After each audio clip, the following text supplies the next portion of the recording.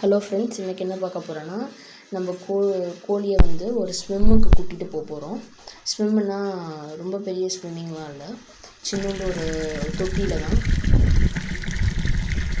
தண்ணி பிடிச்சிட்ருக்கோம்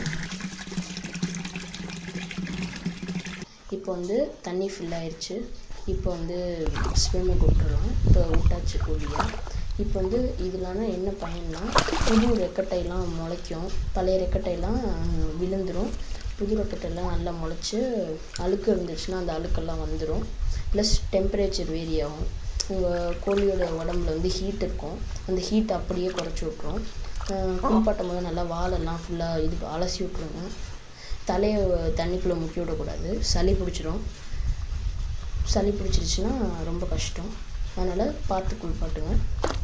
அப்புறம் இது வீக்லி ஒன்ஸ் பண்ணுங்கள் ஆஃப்டர்நூன் டைம் ஒரு டுவெல் ஓ கிளாக் அப்போ பண்ணுங்கள் நைட் டைம் பண்ணிங்கன்னா நைட் ஃபுல்லாக நடுங்கிக்கிட்டே இருக்கும். அதனால தான் அப்புறம் நம்ம சேனலை சப்ஸ்கிரைப் பண்ணிக்கோங்க.